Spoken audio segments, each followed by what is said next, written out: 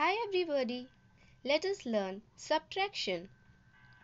Today, let's learn how to subtract three digit numbers with borrowing.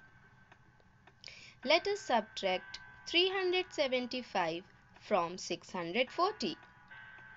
Look at the ones column. We have to subtract 5 ones from 0 ones. But we do not have enough ones to subtract 5.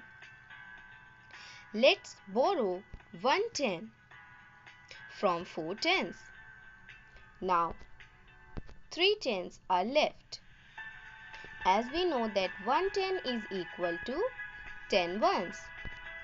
So now we have 10 ones. Now we can subtract 5 ones from 10 ones. So 10 ones minus 5 ones is equal to 5 ones. Let's write 5 under the ones column. Now look at the tens column. We have to subtract 7 tens from 3 tens. But we do not have enough tens to subtract. Now let's borrow 100 so that 5 hundreds are left. As we know that 100 is equal to 10 tens. So 10 tens plus 3 tens is equal to 13 tens. Now we have enough tens. Let us subtract 7 tens from 13 tens. 13 tens minus 7 tens is equal to 6 tens. Let's write 6 under the tens column. Now let's subtract the hundreds. 5 hundreds minus 3 hundreds is equal to 2 hundreds. Let's write 2 under the hundreds column. Now we have got our answer. 640 minus 375 is equal to 265. Let's do one more problem. Let us subtract 573 from 900.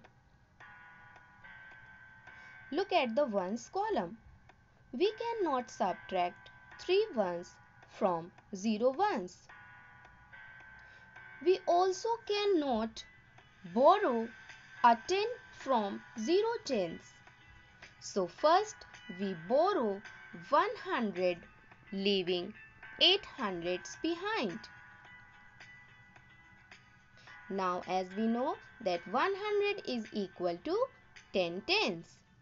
Now we have 10 tens.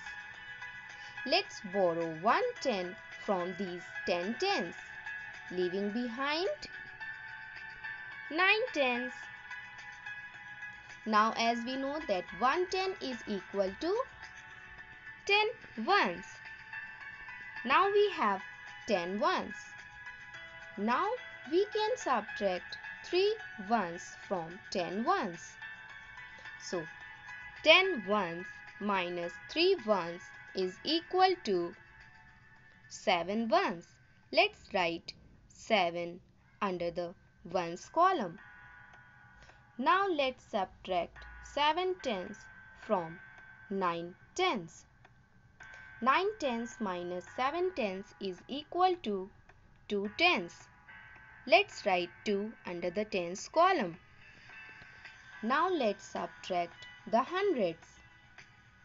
8 hundreds minus 5 hundreds is equal to 3 hundreds. Let's write 3 under the hundreds column. So now we have got our answer 900 minus 573 is equal to 327. My dear kids, I hope now you have understood how to do subtraction of three digit numbers with borrowing.